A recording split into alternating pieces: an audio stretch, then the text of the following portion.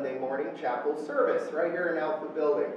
Uh, I'm excited to have this time of worship with each and every single one of you because I'm excited to enter into the presence of our Lord God with each of you and to see what He's going to do in each of our lives.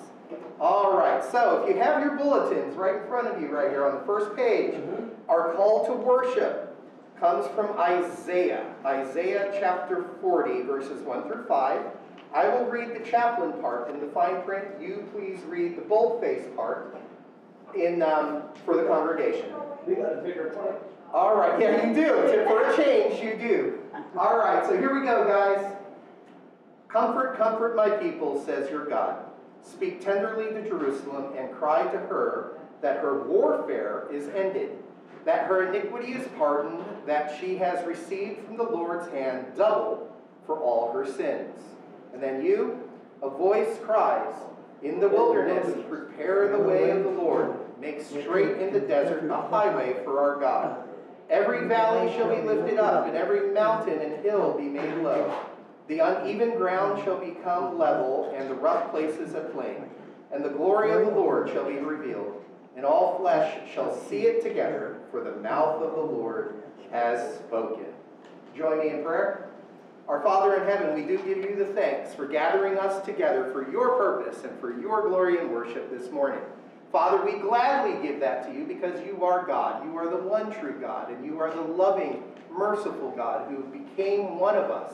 You sent your Son into the world uh, to live for us, to die for our sins, and to rise again from the dead to give us eternal life.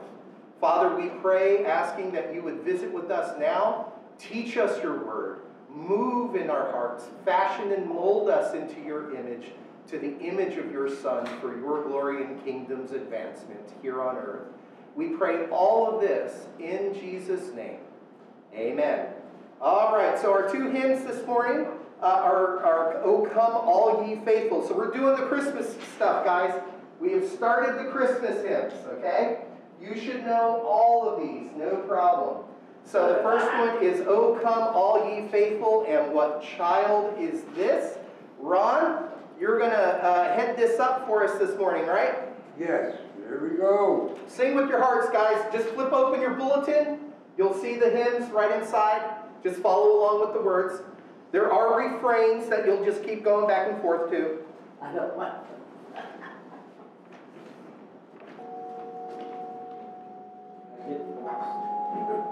There's any hiccups, just keep flowing with it. You all know these hymns.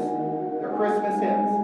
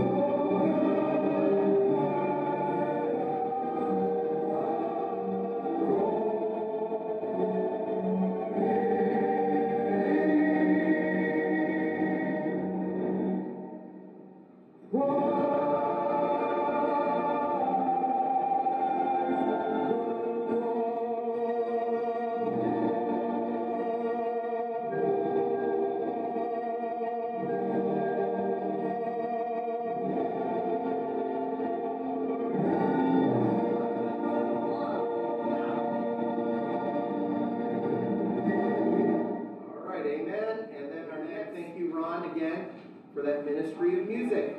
And so, guys, if you're following along in your bulletins, we're now going to sing, or actually pray, uh, that prayer that our Lord taught his disciples to pray, the Lord's Prayer, by praying together, Our Father, who art in heaven, hallowed be thy name.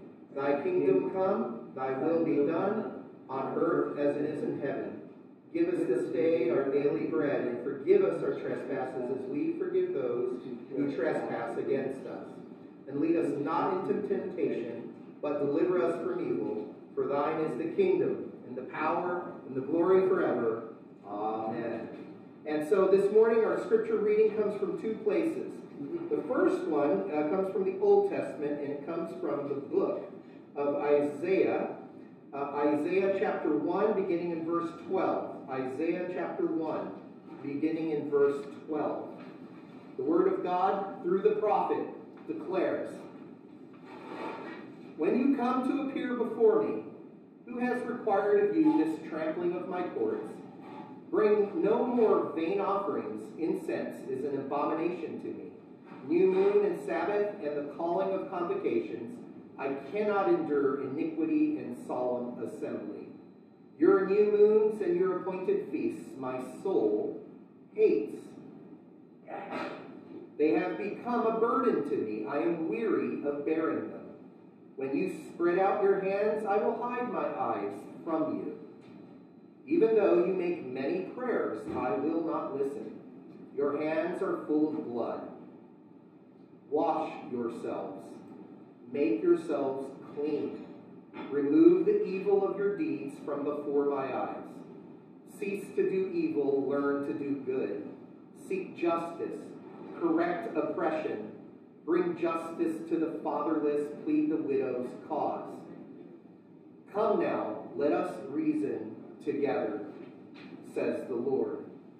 Though your sins are like scarlet, they shall be as white as snow. Though they are red like crimson, they shall become like wool. If you are willing and obedient, you shall eat the good of the land. But if you refuse and rebel, you shall be eaten by the sword, for the mouth of the Lord has spoken. And then our reading from the New Testament comes from the Gospel of Mark, Mark chapter 10, and beginning in verse 17. Now, for those of you that remember the last time I was here, this is the same passage I read from. This is basically part two of that message. We'll be getting into Christmas themed messages as we go through December, but I felt that we still needed to finish something off here in uh, this passage of Mark chapter 10. Okay? So it's the same passage. It comes from Mark chapter 10, verse 17 through 31. Again, the Word of God says, And as he was setting out on his journey, a man ran up and knelt before him and asked him, Good teacher, what must I do to inherit eternal life? And Jesus said to him, Why do you call me good? No one is good except God alone. You know the commandments do not murder, do not commit adultery, do not steal, do not bear false witness, do not defraud, honor your father and mother. And he said to him, Teacher, all of these I have kept from my youth. And Jesus, looking at him, loved him and said to him, You lack one thing.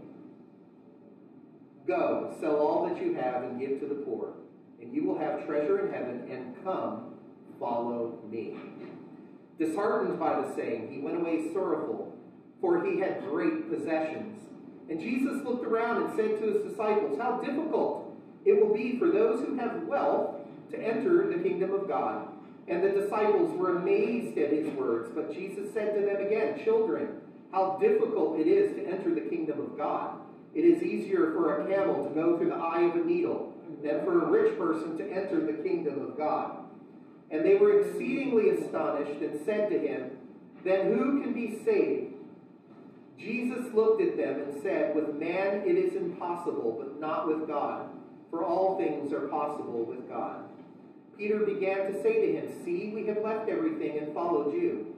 Jesus said, Truly I say to you, there is no one who has left house, brothers or sisters, or mother or father or children or lands for my sake and for the gospel, who will not receive a hundredfold now and this time houses and brothers and sisters and mothers and children and lands with persecutions, and in the age to come, eternal life.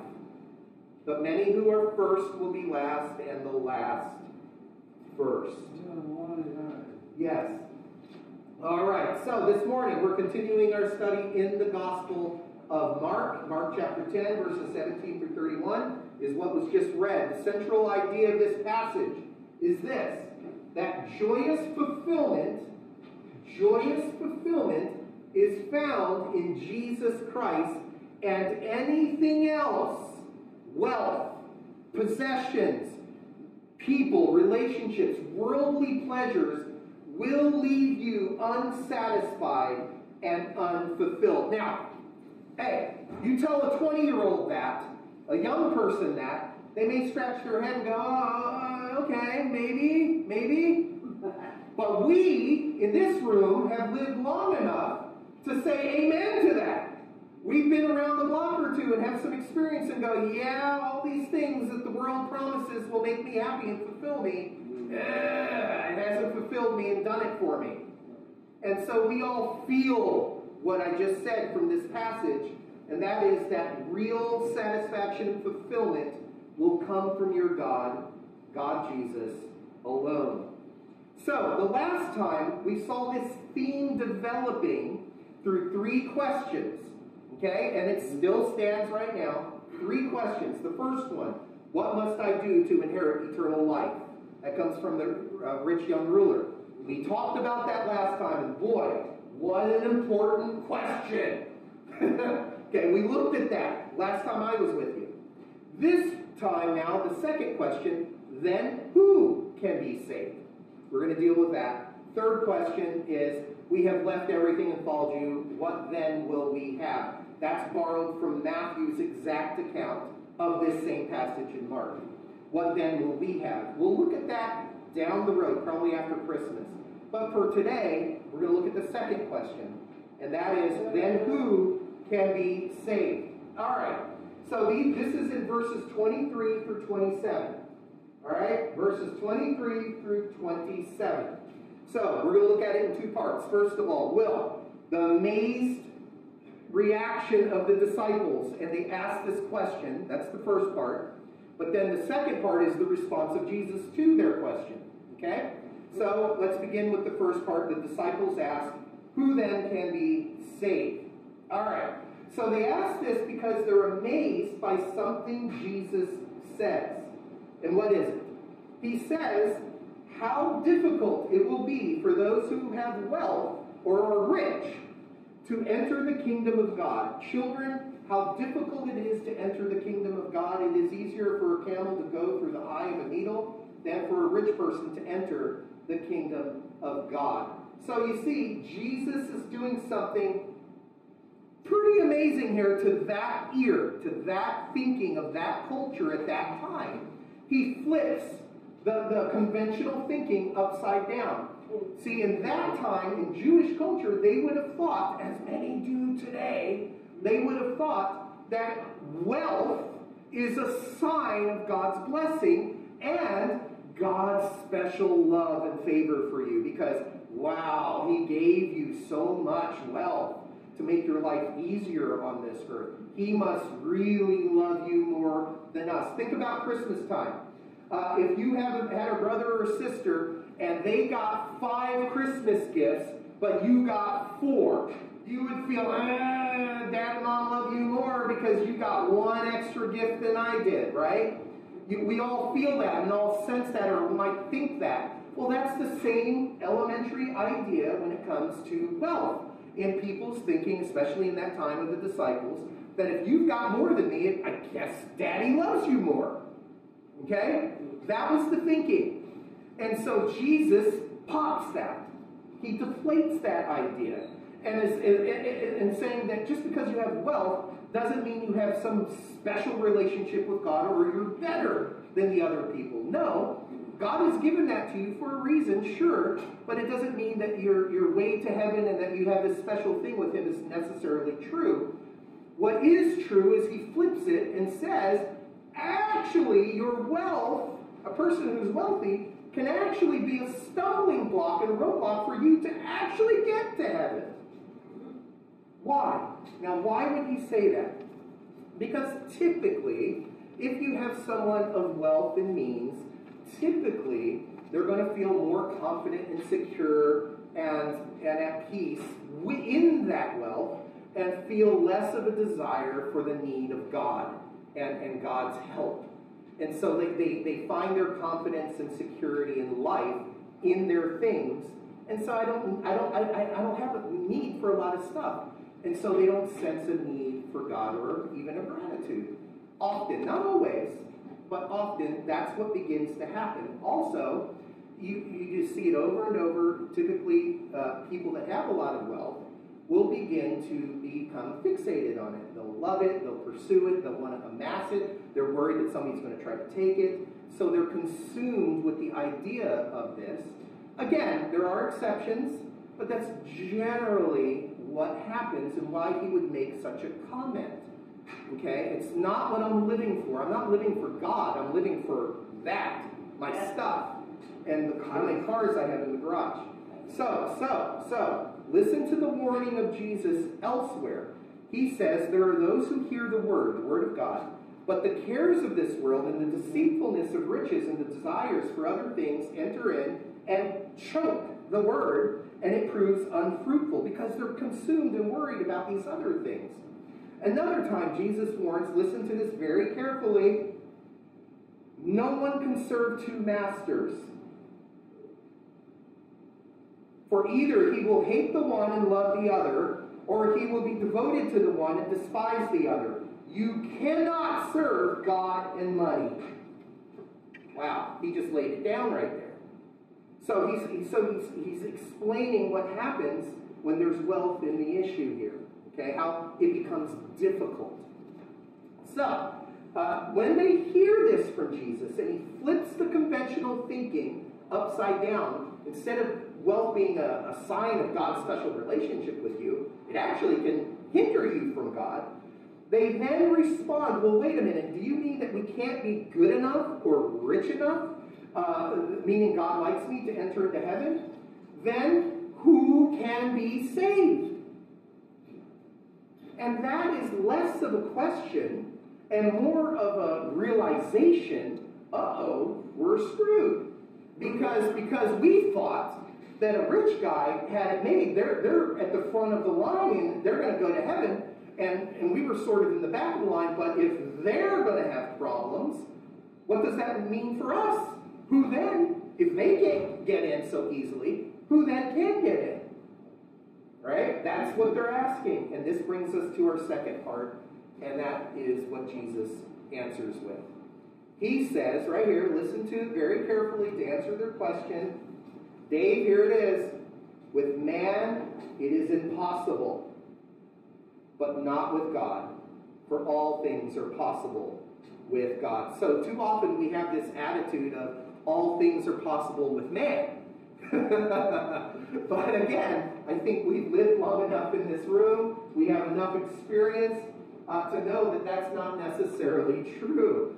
I, I think that if we all unite and we're all of positive mind and working together, we can achieve a lot of things. Absolutely. Man, this country put a man on the moon. I mean, there's there's no telling what we could do when we put our heads and minds together, right? This country, this country has done so many great things together. But but what Jesus is talking about is something that's impossible for man to do, and that is to spiritually bring himself back to life uh, when something is dead, it is dead. Is this alive? No. It's a, it's a material object, but it's not a living thing. Can this thing do anything by itself on its own? No. No. And so it is with our dead souls. He is saying if you're dead, you're as dead as that doorknob and can do nothing to save yourself. And that is why it takes an act of God, okay, to breathe life into the situation. Here's why. Romans 3, verse 10 says, None is righteous, no, not one. No one understands. No one seeks God. All have turned aside. Together they have become worthless. No one does good, not even one. Romans 3.23 says, All have sinned. What's all mean? All means all, that's all all means. Every single one of us in this room. God is saying, You have offended me or fallen short. All have sinned and fall short of the glory of God. So the Bible explains, beginning with the first man, the human race has fallen into a state of rebellion and sin and is dead spiritually. Dead spiritually. And so Ephesians chapter 2 tells us that we're dead in our trespasses. So do you get the point? Do you see what Jesus is saying here? He is saying you're not capable of saving yourself. So what does it take? How then can we be saved? Who can be saved, but how can we be saved? And that is this by an act of God. Let me put it this way uh, in Christ alone. 1 Timothy 2 5 says, For there is one God and one mediator between God and man, the man Jesus Christ. How can we be saved? In Christ alone, but by God's grace alone. Ephesians 2 tells us, But God, being rich in mercy because of the great love with which He loved us, even when we were dead in our trespasses, made us alive together with Christ. By grace you have been saved. How can we be saved? In Christ alone, by God's grace alone, but also through faith alone. Ephesians 2 8 and 9 says, For by grace you have been saved through faith. And this is not your own doing, it is the gift of God, not a result of works, so that no one may boast. And of course, Hebrews 11 6 proclaims, And without faith it is impossible to please God. For whoever would draw near to God must believe that he exists and that he rewards those who seek him. So grace means, listen, grace means undeserved favor. And if you ever get into the realm of saying, God must save me, God must love me, God is obligated to do this for me or save me, you've got it all wrong because that's no longer grace. Grace means undeserved favor. We don't deserve to be saved or, or have uh, goodness from Him. We actually deserve to get slapped and go to hell because we have offended and rebelled against Him. But He does, He surprises us and does something the opposite. Instead of pimp slapping us, He gives us love and salvation.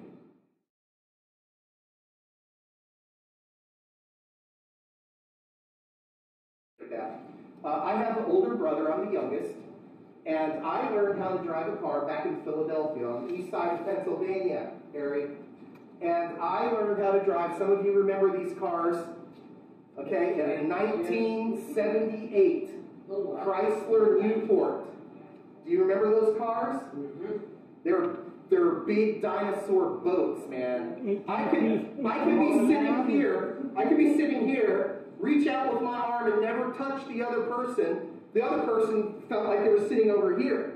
I mean, it was huge, Uh, huge car. feet long four, uh, four and two tons. Yes, yes. Mopar power, man. That that the cubic inch massive engine. Uh, you could work on the engine back then. Today's cars, forget about it. But uh, so I learned how to drive in that car in the streets of Philly, and uh, and so I was driving one, but it was my brother's car, and I was driving one morning doing my stuff. I actually clipped the front left uh, where the headlight was. I hit something and damaged it. It was it was a minor damage, but cosmetic, but enough, you know, damage that would cost money to fix it. And uh, I was scared to death. My brother was a football player. He was bigger than me, stronger than me. He, he, he, he had a, uh, a short fuse and could get angry and explode very easily. You know, uh, big brother, right? And so I was dreading it as I drove home. I go into the house. He's just waking up. Uh, it's still morning, and I'm like shaking in my boots. And I say to my brother, I said, uh, he goes, well, how did everything go this morning? And I go, well, it went good, but uh, I got to tell you something. And I just spit it out what happened to his car. He went, what? He throws his shoes on. Doesn't say much. He just throws his shoes on, goes out, he says, come with me. We go outside to the car, and he looks at all the damage. He, he walks around the car, looks where the damage is, checks it out, never says a word. And then he turns to me, and I'm expecting the worst. And he turns to me and he says, Are you hungry?